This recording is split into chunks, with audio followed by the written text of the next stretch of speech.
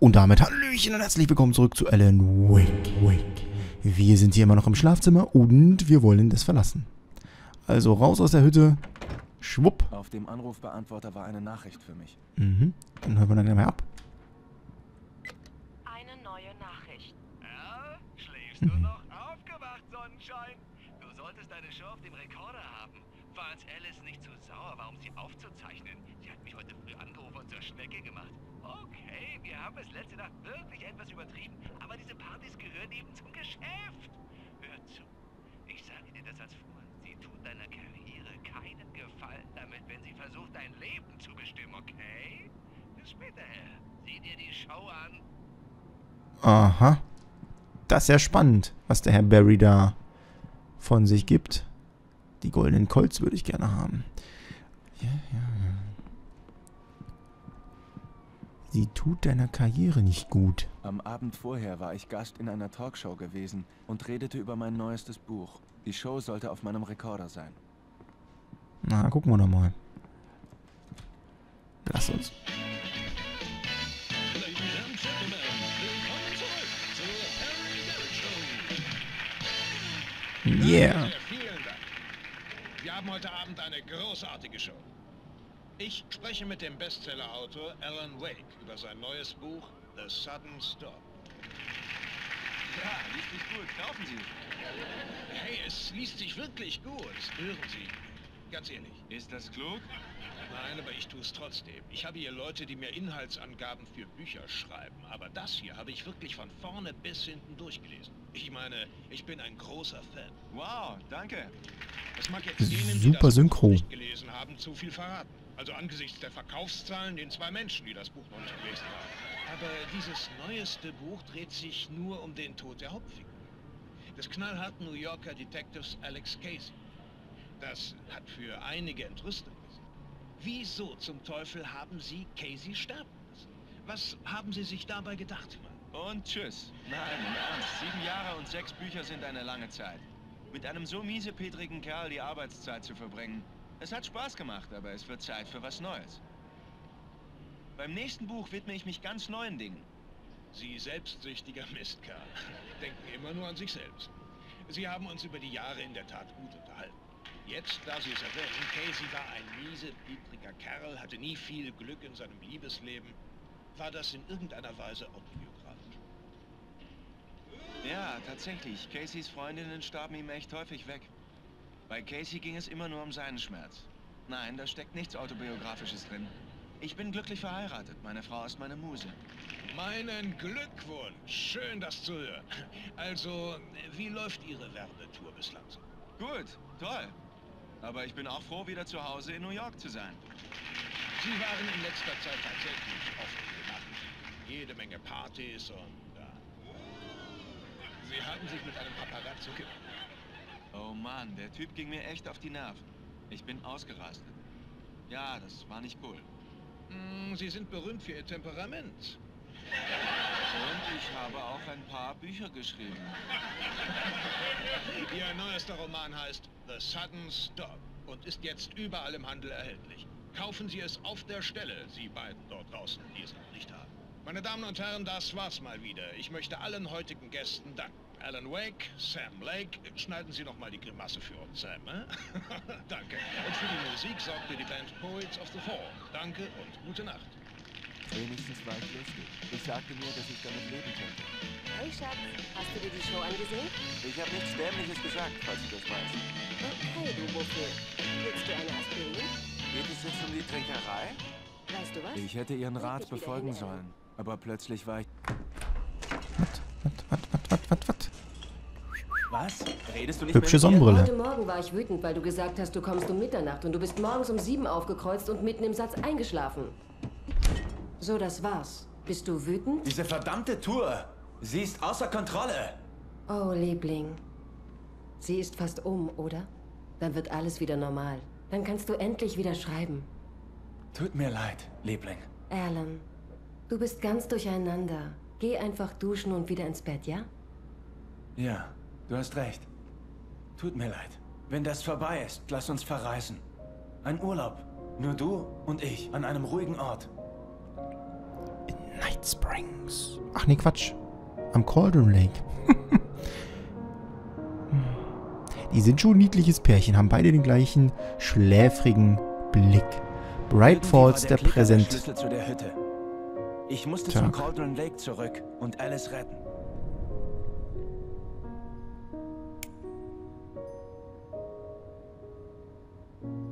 Ich gehe zurück zum See, um es zu beenden. Ich schreibe ein Ende für die Geschichte aus dem Manuskript. Und zwar nach meiner Vorstellung, um alles wieder gut zu machen. Wieso kannst du das nicht hier schreiben? Die letzte Seite steckt noch in der Schreibmaschine. Ich muss erst alles genau durchlesen. Es muss einfach alles stimmen. Zane hat ein paar Abkürzungen versucht und das ging nicht gut. Okay, es kann losgehen. Tut mir leid, Sarah. Ich muss das hier alleine machen.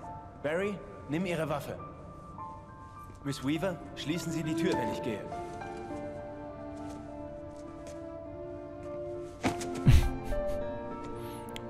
Bleib locker, Barry. Ich komm wieder. Wir sehen uns später.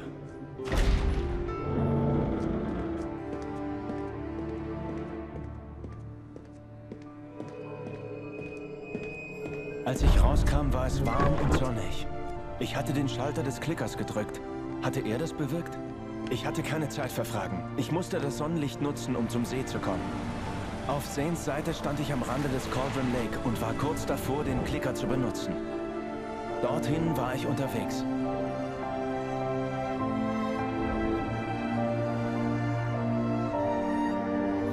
Das ist ein echt, echt schönes Spiel. Mit super schönen Cutscenes. Also in der Gegend würde ich auch super gerne wohnen wollen. Ach ja, ich bin ja so ein Berge-Fan. Hatte ich glaube ich schon ein paar Mal erwähnt. Umgeben von der Schönheit des pazifischen Nordwestens, fiel es mir schwer, noch ein letztes Mal die Zweifel runterzuschlucken.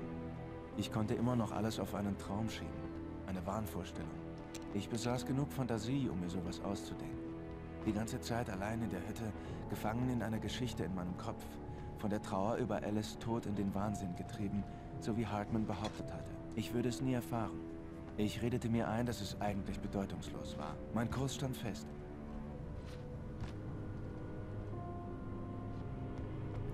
Gut.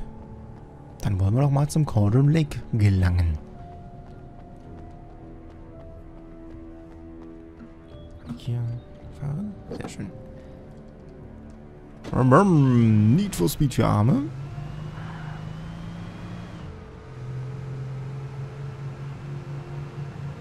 Falls irgendjemand links und rechts irgendwas blitzen sieht, bitte Bescheid sagen. Einfach mal kräftig schreien oder auf Facebook posten.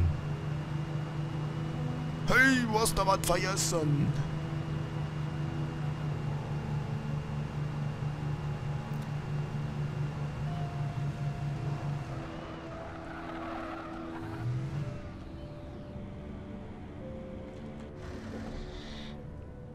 Ich mag den roten lieber. Kontrollpunkt erreicht. Mhm. Oder komme ich hier gar nicht weiter? Doch, komme ich. Siehst du?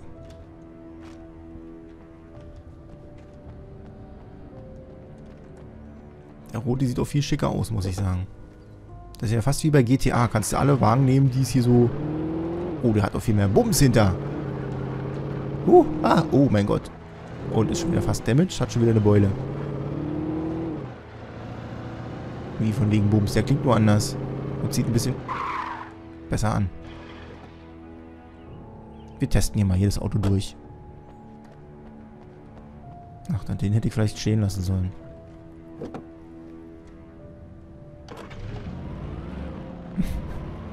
Ah, vielleicht kann man mit dem besser driften.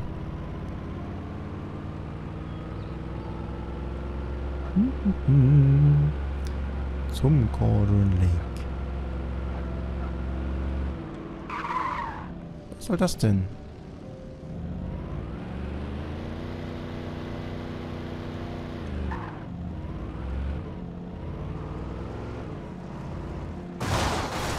Gut, also komme ich da nicht rein. Das war ja ein Test. Obwohl, guck mal. Kommst du hinten rum rein, wa? Ha. Mitgenommen. Ein Käffchen.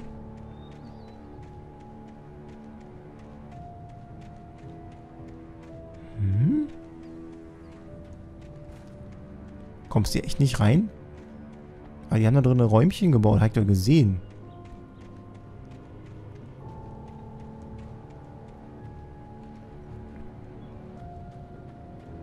Sieht doch aus, als ob hier drinne. Guck doch.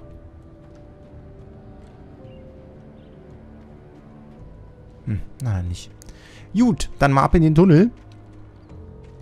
Bright Falls Deer Festival. The Annual. Da geht's auch runter. Hoffentlich kann ich jetzt wieder mit einem Auto fahren. Und wieso habe ich keine Taschenlampe?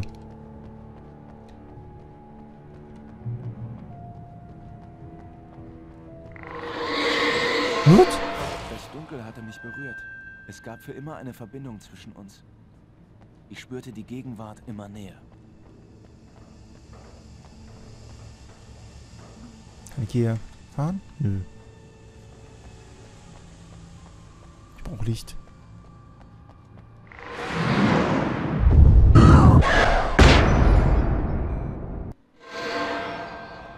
Ich werde Ihre Frau töten.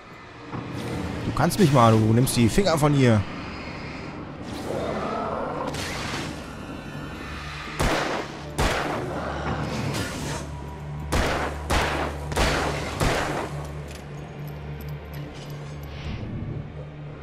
Wow, Special Move. Mhm. Nichts leichter als das. Ist hier irgendwo Muni?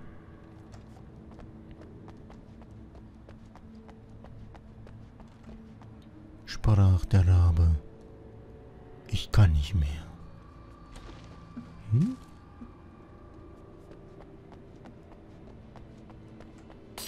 Na klar doch. Ist doch typisch.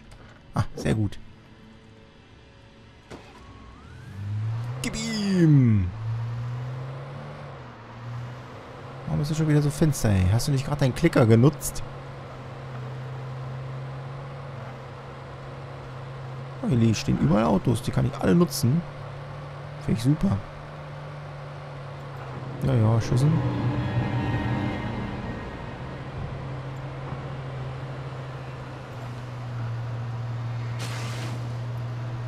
Bamsen!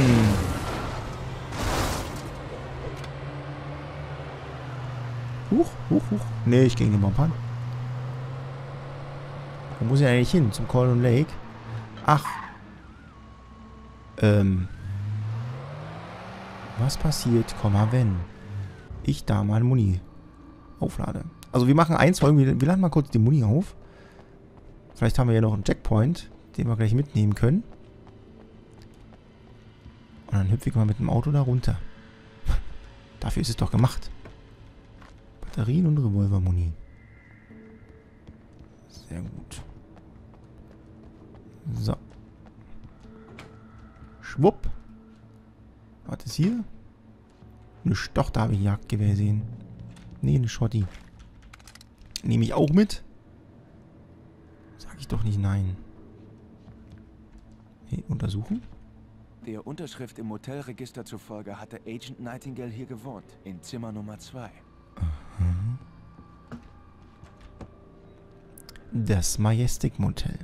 Allgemeine Informationen. Bei allen Reservierungen fällt eine, zurückzahlbar, hat eine rückzahlbare Kaution von 100 Dollar an. Wir akzeptieren für führende Kreditkarten bla bla bla bla bla bla bla bla bla bla bla bla bla bla bla bla bla. So. Huch. Ah, Thermosflasche im Klo versteckt. Egal. Ich habe keine Ekelgrenze. Ich nehme alles und nichts auf alles. Hm. Huch. Zimmer Nummer 2. Was ist das? Stehen irgendwo Zimmernummern dran? Äh. Mal ganz entspannt hier, ja?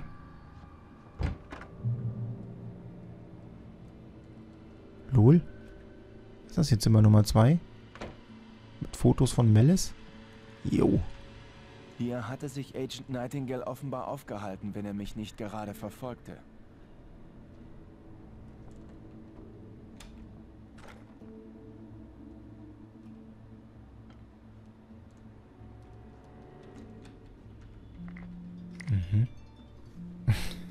Immer die schöne Harfe im Hintergrund.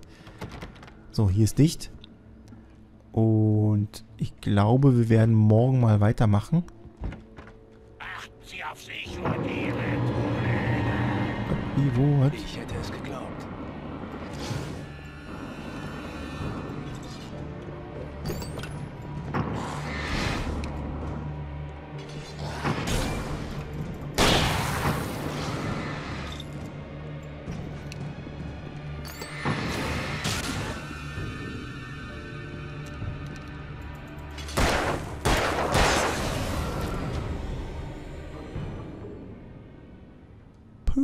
Juti, also in dem Sinne, Tschüsschen mit Küsschen. Wir sehen uns morgen wieder. Gleiche Stelle, gleiche Welle. Vergesst nicht, wenn es euch gefallen hat. Da hinten ist Munition, da hinten ist Muni. Wenn es euch gefallen hat, Däumchen nach oben. Oder lasst mir einen leckeren Kommentar da. Ne? In dem Sinne, wir sehen uns morgen. Wir gruseln uns morgen weiter. Tschüss.